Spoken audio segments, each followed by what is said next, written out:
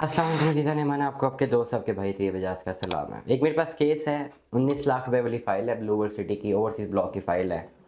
पंद्रह साढ़े पंद्रह लाख रुपए जमा है। अब बहुत सारे लोग बजिद हैं। बाय एनी मीन्स वो बजिद हैं कि जी, ये जो पंद्रह साढ़े पंद्रह लाख हमने जमा कराया है ना, बस ये उठा के आप किसी जनरल ब्लॉक की फ़ाइल में डाल दें।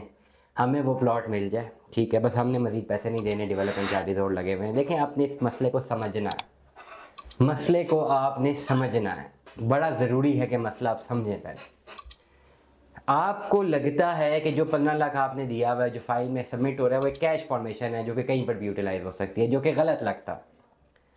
अगर आप ये कहते हैं कि हमारी फ़ाइल उन्नीस लाख वाली है, या बीस लाख वाली है, या इक्कीस लाख वाली है, हमने पंद्रह सोलह लाख जमा कराया हुआ है तो भाई अब तो इतने में आपको पाँच मरले का प्लॉट जनरल ब्लॉक में मिल जाता है। भाई, मैंने तो आगे ओवरसीज़ ब्लॉक को कंटिन्यू नहीं करना, मैंने तो इतने डेवलपमेंट चार्जेस नहीं देने, मैं चुप करके वो पाँच मरले का प्लॉट लेने लगा हूँ। तो वो पाँच मरले का प्लॉट अगर जनरल ब्लॉक में मिल जाता है भाई तो वो टोटल कैश पेमेंट पे मिलता। रियल स्टेट में कैश की ही वैल्यू होती है और कैश की बड़ी वैल्यू होती है। कैश की, और लेटर सपोज़ एक मेरे पास एक चीज़ है बिकने वाली।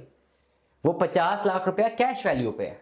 फिफ्टी लाख कैश एक ऑफ़र आई उसकी कि जी पच्चीस लाख कैश ले लें, पच्चीस लाख रुपए का प्लॉट डाल लें। फ़ौरन मना कर दिया यार, भाई नहीं।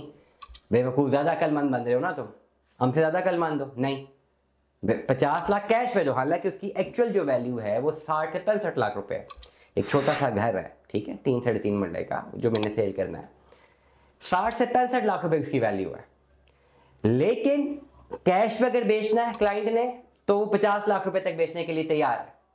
साठ से पैंसठ लाख की वैल्यू लेकिन कहता है कैश चाहिए ना। पचास लाख अगर मुझे कोई कैश दे दे तो मैं उसको दे दूँगा। अब हमने मार्केट में डाला।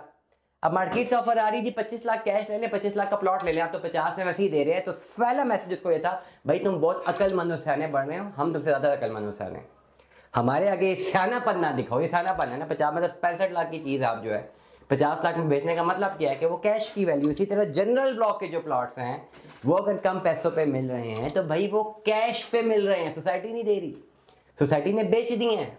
सोसाइटी ने अगर छः सात लाख रुपए के बेचे हैं तो ये उस वक्त बेचे थे जब ब्लू वर्ल्ड में कोई कदम रखना नहीं चाहता था और वो आया था लॉन्च हुआ था तो सौ में से पचानवे लोग जो कह रहे थे, भाई, ये दो नंबर प्रोजेक्ट है। कुछ पाँच परसेंट लोगों ने वो इन्वेस्टमेंट की थी। आज उनके प्लॉट पंद्रह सोलह लाख रुपए के हैं ना। उनकी किस्मत अच्छी के सात लाख रुपए जनरल ब्लॉक में लिया, उनके डेवलपमेंट चार्ज भी सवा लाख रुपए लगे। नो दे डिजर्व इट भाई। उनको प्लॉट बारह तेरह लाख रुपए के पड़े हैं। दे डिजर्व इट उन्होंने लिए भी किस पॉइंट पे और किस तरह उन्होंने पैसे दिए?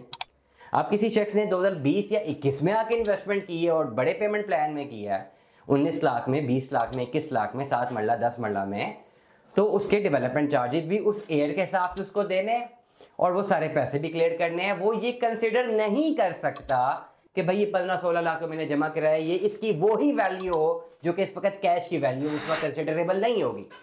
एडजस्टमेंट में जाएँगे भाई ब्लू और सिटी बड़ा क्लियरली बता रहा हूँ। साथ कैश पेमेंट देनी पड़ेगी और फ़ाइल देनी पड़ेगी। ऐसा नहीं हो सकता कि आप कैश पेमेंट ना दें आप समझे कन्वर्जन मिल जाए। नहीं होगी।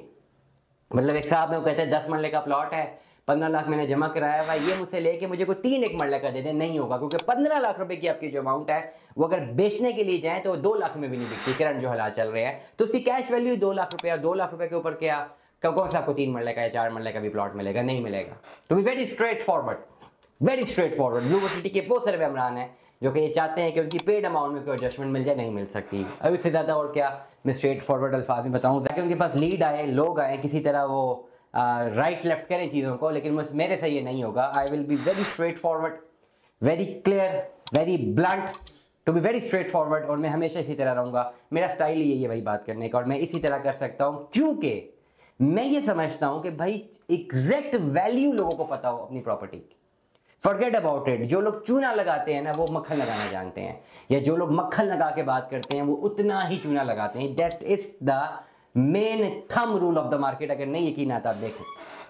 और जो स्ट्रेट फॉरवर्ड बात करेगा, वो चूना कम लगा रहा होगा। पैसे वो भी बनाएगा अपने, लेकिन हक हलाल के बनाएगा। वो उसका हक है, वो बनाएगा। मुझे पैसे नहीं मिलेंगे, मैं काम नहीं करूँगा। टू वेरी स्ट्रेट फॉरवर्ड मैं काम, मुझे पैसे मिलेंगे, मैं काम करूँगा नहीं मिलेंगे, कोई मुझे बंदा अपनी कमीशन नहीं देगा मेरी, ये मुझे सर्विस चार्जेस नहीं देगा।